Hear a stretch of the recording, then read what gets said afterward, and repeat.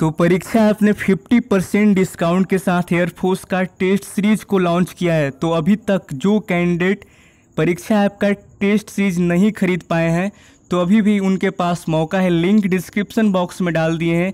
50 percent का discount अभी भी चल रहा है। तो जल्दी से जाकर आप लोग इस महीने के अंत तक जल्दी से जल्दी खरीद लीजिएगा, क्योंकि एक महीना और आपका ये 50 परसेंट का डिस्काउंट चलेगा। तो एयरफोर्स के जितने भी कैंडिडेट हैं ग्रुप एक्स एन वाई के यहाँ पर दोनों लैंग्वेज में आपको टेस्ट सीरीज़ उपलब्ध हो जाता है तो जाकर आप देख लीजिएगा।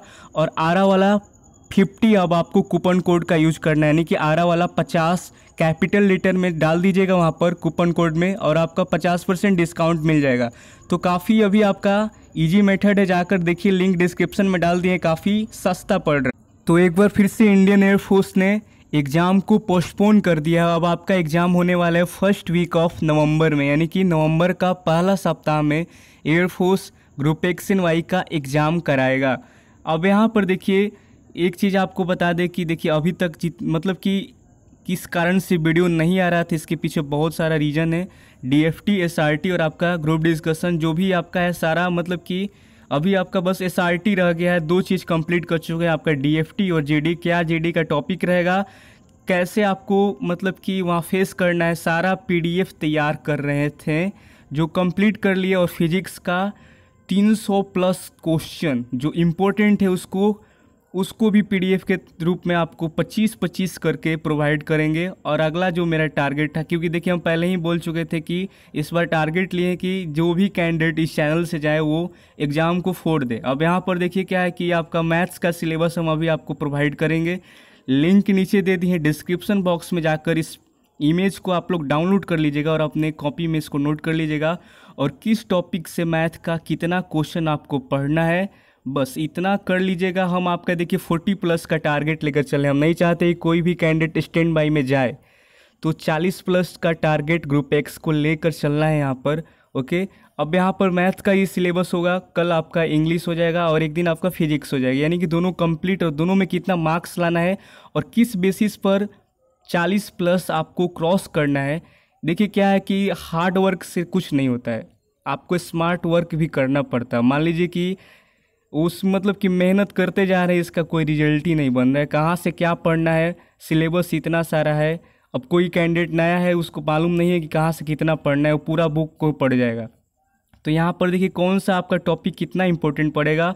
और देखिए, यहाँ पर क्या है कि अभी भी आपके पास पूरा अक्टूबर बचा हुआ है और इधर का आपका बीस मतलब कि आज दस तारीख और बीस दिन इसमें मतलब जोड़ लीजिए आपका, लगभग मिलाकर कितना दिन हो जाएगा? आपका तीस या बीस जोड़ लीजिए। पचास दिन अभी भी आपके सामने है तो अभी भी आप यहाँ पर तैयारी ज़बरदस्त तरीके से करेंगे और इतना पढ़ लेते हैं तो आपका चालीस प्लस यानी कि कहीं नहीं गया पक्का फोर्टी के आसपास जाकर गिर जाएगा आपका मार्क्स। अब यहाँ पर ट्रिगो से देखिए, तीन क्वेश्चन गारंटी के साथ आपका पूछा जाएगा। इतना सारा हम लिखे नीचे, ये सेक्शन वन है। ऊपर जितना देख रहे हैं आपका trigo complex number differentiation binomial AP GP HP ये सेट जितना आप देख रहे हैं, पाई खींचे, देखिए नीचे, बीच में से पाई खींचते हैं। ऊपर आपका पार्ट वन है और नीचे यहाँ पर पार्ट टू जहाँ से आपका इंटीग्रेशन प्रोबेबिलिटी आपका सर्कल कोनिक सेक्शन आपका सारा कुछ यहाँ पर वेक्टर वगैरह वगैरह, देखिए क्वाड मतलब कि क्वाड्रेट्रिक यहाँ पर देखिए, कहाँ से कितना क्वेश्चन आपका पूछा जाएगा। ये पक्का यहाँ से इतना क्वेश्चन आपका आता है और इसको आप लोग डाउनलोड करके क्या करिएगा कि लिख लीजिएगा कॉपी वगैरह पर और यहाँ से इसी के अनुसार आप लोग प्रिपरेशन करिए। हम आपको बोल रहे हैं, आप इसी के अनुसार प्रिपरेशन करिए। पार्ट वन में जो टॉपिक है, उसको सीरियल वाइज उसी के, यानी कि उसी सीक्वेंस में आपको तैयारी करना है। पार्ट वन में जो भी आप टॉपिक ऊपर देखें सीक्वेंस में आप इसी को तैयार कर लीजिए। अगर यहाँ से अगर आप ग्यारह नंबर भी लाते हैं पार्ट वन से मानकर चलिए कि आपको ग्यारह मार्क्स मिल जाता है तो आपका जो पार्ट टू है, जहाँ से इंटीग्रेशन से पार्ट टू आपका शुरू हो रहा है। अगर यहाँ से दो या तीन मार्क्स भी लाते हैं तो आपका कम से कम चौदह मार्क्स तो मैथ्स में कहीं नहीं गया है। ठीक? चौदह नंबर आपका मैथ्स में आ जाएगा।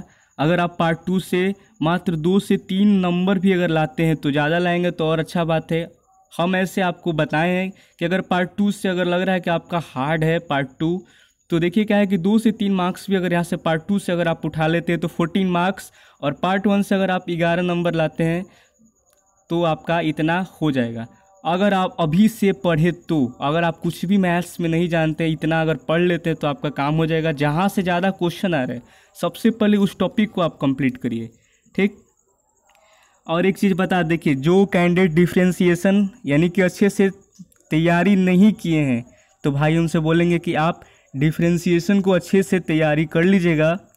और एक चीज़ इसमें, अगर आप इंटीग्रेशन पढ़े हुए हैं, ठीक, अगर आप इंटीग्रेशन पढ़े हुए हैं, तभी आपको छूना है इंटीग्रेशन को, नहीं तो ये बहुत लंबा चैप्टर जाएगा आपका ओके अब यहाँ पर देखिए, इतना आपका चीज़ है समझ गए आप लोग इंग्लिश में आपको चौदह नंबर लाना है। अब कैसे लाना है? फोर्टीन मार्क्स इसका भी हम आपको रूल बताएँगे।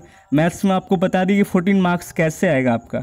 तो मैथ्स और इंग्लिश में आपका फोर्टीन फोर्टीन जोड़ लीजिए, इतना हो जाएगा। और आपका, अगर आप फिजिक्स में बारह दशमलव पचहत्तर मार्क्स भी अगर आप लाते हैं तो टोटल आपका इकतालीस पॉइंट समथिंग यानी कि टू फाइव मार्क्स आपका कहीं नहीं गया है।